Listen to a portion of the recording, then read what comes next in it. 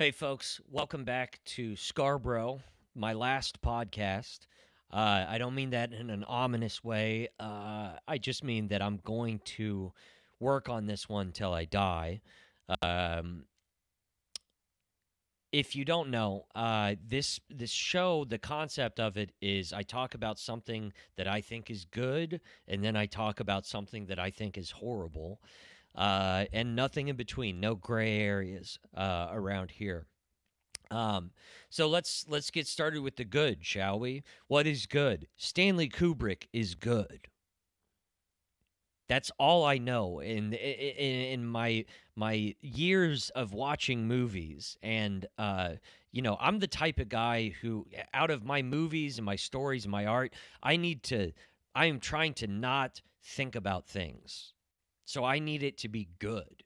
I need good art, and Stanley Kubrick, uh, in a singular fashion, um, made movies that uh, nothing compares to them. Um, you know, and that's that's regardless of when you're looking. Like movies never got better than Stanley Kubrick. They stand the test of time.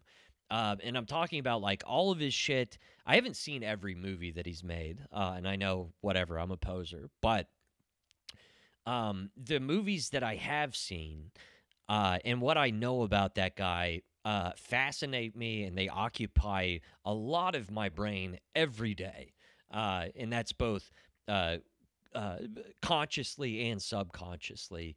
Um, I've based a lot of my life on things I've learned from Stanley Kubrick movies. He's also he's one of those guys. I kind of got into this in the last episode, but he was a, not a good guy. Um, he was an asshole and definitely an egomaniac. But I like artists like that. I for some reason I kind of respect it. I don't respect everything that he did. He was a maniac. Uh, but I understand being you I I really don't feel like you can be a great artist without being eccentric. Uh, I think that there are some people who succeed in art uh, while being boring. Um, but I think the good ones, uh, I think that the good artists have problems. There's a reason why they're able to um, uh, focus uh, and and just completely throw themselves into a project uh, and not give a fuck about anything else and and make the art. And Stanley Kubrick was like that. Um, couple of fun things about Stanley Kubrick you may not know. He was uh, a brilliant chess player, and uh, when he was coming up in, uh, I think it was New York. I think he lived in New York. He was a photographer early in his career, and he would. Um, he would he was a chess hustler out on the street. He would make money that way, uh, which is I I like people like that. I've I've met other people who uh, live a similar lifestyle where they get really good at poker or something, and that's all they really have to do. Um, because people like that are just uh, they've found a way to hack the system to remain a child their whole life basically and that's that's kind of what being an artist is you find a way to turn your uh, plaything into uh, money which i will never figure out but i i will continue to uh, press on um, through poverty and suffering and mental illness and substance abuse. That's what it's all about.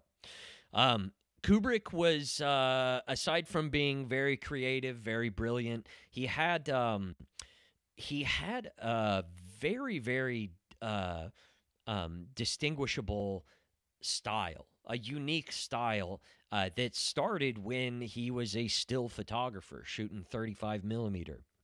Um, Kubrick uh, one of the things that I've taken from Stanley Kubrick, and I use this in my paintings constantly, is he was obsessed with the idea of symmetry. He was obsessed with triangles, um, and a lot of his compositions, uh, they have an element of symmetry there, and this is in general a great recipe for art. Have an element of symmetry and then have variations for the eye to go back and forth on. Like you can look at this tree and it looks symmetri- symmetrical when you first look at it, but there's uh, this branch is a little bit lower, but it compensates by bending up like this. And I do this constantly in my paintings. I balance things out with something similar and it looks the same, but then you look closer and it's not. And you can see that in both like his uh, um, iconic uh, like uh, 2001 Space Odyssey or The Shining, uh, or even in his comedies um, like uh, Doctor Strangelove, which to this day, if you have not watched Doctor Strangelove, it is the greatest uh, black comedy of all time. Uh, in the sense that it it takes something that in the year 1964 was a very very real thing in people's mind uh, as far as nuclear Armageddon. They had just experienced the uh, the Bay of Pigs incident and the fucking uh, Cuban Missile Crisis. Uh, and people thought the world was about to end, and it almost did. But Stanley Kubrick made this comedy called Doctor Strangelove, and it has Peter Sellers in it from the Pink Panther series, and he plays uh, like three different characters. It makes fun of the military uh, to the point where it it pissed a lot of people off when it came out. And I remember my parents somehow showed that to me as a kid, even though they are they. I grew up in a fucking neocon, uh, like Reagan era um, household. My parents loved Rush Limbaugh. They loved Ronald Reagan, trickle down economics. They they absolutely fell for everything. Um, and they but they somehow uh one I, I I don't know how they did the mental gymnastics to enjoy that movie while maintaining their belief system but they showed it to me and we had a family friend over at the time who was a uh, um uh, he was a former uh, submarine uh, personnel I, whatever seaman uh, you know, a submarine guy uh, during the Civil War. He or not the Civil War, the Cold War. He was in uh, um, a, a nuclear powered and nuclear armed submarine, like Hunt for Red October type of shit. And I remember we all had a family movie movie night, and we all loved it. And he, that guy did not find it funny at all um, which kind of shows me that it's good. Anything that makes like fucking uh, patriotic, uh, what old fucking cold warriors um, get their panties in a bunch is there's a good chance it's good art or good music or good whatever. Um, I love Stanley Kubrick. Uh, I also, uh, you know, a lot of people might criticize the movie A Clockwork Orange. Um, it's a disturbing movie uh, to a lot of people um, eh, because of certain things that the the protagonist, uh, who is uh, not even an anti-hero, he is a bad dude in uh, a Clockwork Orange. But I think that uh, I think eh, there's a reason why I uh, I inherently respect movies like that um, that go.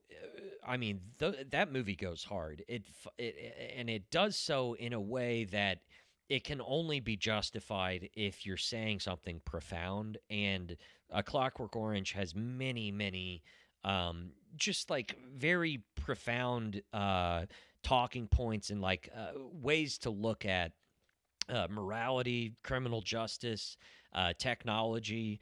Um, and it's all done in this like beautiful dystopian um uh, like this is where art's headed this is where technology and culture uh are headed uh it's it, it looks crazy um and i feel like when you do that uh when you make a futuristic like a very stylized um aesthetic it kind of softens uh, maybe some of the violence or ultra violence that takes place in that movie. But um, I respect artists that are willing to go that far. I like. Uh, I, sometimes th- their work is not for me, but I respect that about them. I like. Um, there's one movie that I like a lot by Lars von Trier, and it's kind of the same thing where it's like uh, the house that Jack built. It's it's like American Psycho except for I in my mind much more disturbing. Um, and it's not I it's it's pretty fucking funny too, honestly. But um, yeah, we like dark art around here. Uh, enough with the good. Let's talk about the horrible. Um, I was thinking about uh, someone that I really uh, reserve a lot of um, rage towards, and it's. I mean, it, I go back and forth on whether or not it's rage. Um, I think about grifters a lot, uh, successful grifters, um, and I uh, I wonder their intentions. Like, are they willing? Are, are they wittingly um, deceiving people? Do they know that they're saying lies? Um, for example, Candace Owens. Uh, I get the feeling that Candace Owens knows exactly what she's doing. You know, um, she knows that she is appealing towards uh, uh, white people uh, who are upper middle class who want to be justified uh, for their racism. Um, and she, I feel like she knows that. That's why she does what she does. She's figured out how to make money on it. And it's such a cynical point of view. And the things that she says are so ridiculous and over the top to where it's like, it's, if it wasn't so fucked up, it would be admirable. Um, because she at the end of the day she is hoodwinking uh um some very stupid people uh and i like that about her uh but I, I feel like she's so good at remaining in character all the time that I, there's no way you could get her to break on that. I feel like she uh, I don't know. Um, I I brought up Candace Owens and the, the idea of a grifter because I've I've I've gone back and forth in my mind on whether or not Jordan Peterson is uh, an evil, uh, you know, just greedy um, deceiver, or if he uh, is developmentally disabled. Um, because I, I don't see he the things that he his antics and the way he is able to cry on command which i i think with that when i watch jordan peterson his crying videos which pop up on my fucking youtube youtube algorithm constantly because they know that it infuriates me but he'll just start crying just constantly. And it's it's like you have to wonder has his body just figured out that uh crying results in like uh, uh whatever nourishment or something like food uh and he, he he just biologically starts crying because he knows that makes money deep down. Um or is it just completely an act? Um uh, you know and I just how can someone like that who like he clearly like if you look at the beginning of his career with like the 12 rules for life it's like he's always been an insufferable dork uh if you have a brain and you any self-awareness you can tell that he's a fucking like he's just a little boy like a little fucking dork. Um but he's had some great things to say about like helping yourself um, uh, you know, challenging yourself, uh, keeping your life in order. These things like actually help people. But he uh, he's allowed his career to go into an area where you can tell he just like when it comes to politics and uh, you know if you listen to him talk about marxism or uh, anything uh, philosophy related he just he he uh he kind of has the maturity level of just a, a fucking a, a, an unintelligent 11 year old like a, a stupid 11 year old um one who's been convinced by uh whatever ben shapiro um to think a certain way. Uh and i just i i, I don't understand uh is someone like that is jordan peterson um is he evil at heart or is he misguided and stupid? Because it's it has to be that. It has to be one of the two. And he's um I don't know. I feel like I would like to think that if I were, uh, and I will never be successful on that level. I get that. Um, but uh, I would like to think that if I were like that and I started paying attention to the types of uh, dipshits who consume my stuff and are willing to pay tickets, uh, ticket fees to come see me or what, and buy my books, like I don't know. Wouldn't it be just like kind of a red flag? Like eh, the the the types of fucking morons. Supposedly he's not a moron, um, but it, I don't know. I really don't know what that guy. Um, my sister is.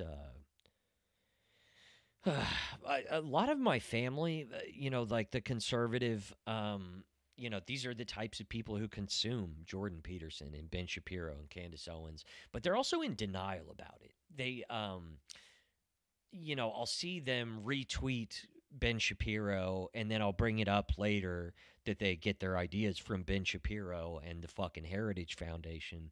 And they just have complete amnesia about it. They're like, oh, I don't watch Ben Shapiro. You know, they're in denial. And it's just like, I would respect you so much more if you just fucking lived your truth. And also, you know, let me talk to you about it. I can you don't have to live that like that. I can't imagine that consuming Daily Wire content is a fun way of life. There's no way that if if you're getting your news, not that getting your news through Al Jazeera is fun either, I'll tell you that. But at least it's rooted in like fucking empathy for um people who deserve it. You know, it's not uh, those Daily Wire things and and all conservative media is kind of manufactured by, uh, I mean, indirectly and directly, fucking oil money. the Heritage Foundation. Look it up. If you're a conservative or a li- libertarian or whatever, um, and you or you think you are, uh, look up some stuff about the Heritage Foundation and and uh, just um, where their money comes from, why they have an interest in funding certain uh, intellectuals. And it, it you know, it, and maybe your ideology is more you're more well read than me, and and uh, you know maybe it'll hold up. I hope it does, um, but I doubt it. Look up the Heritage Foundation, my brother. Um, all right, I gotta go.